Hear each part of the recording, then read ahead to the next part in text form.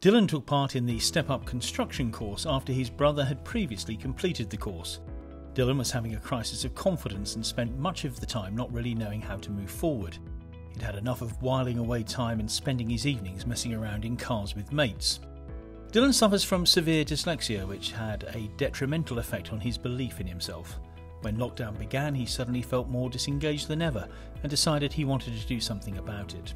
Getting a job was important to me because um, I wanted to do something else because uh, I didn't want to be sat, sat in all the time being at home.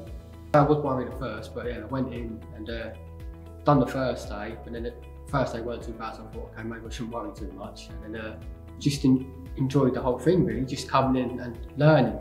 Dillon came out of his shell during the programme and completed the qualification to a very high standard. He prepared and revised for his test extremely hard, and despite his nervousness, successfully passed the test for his CSCS card.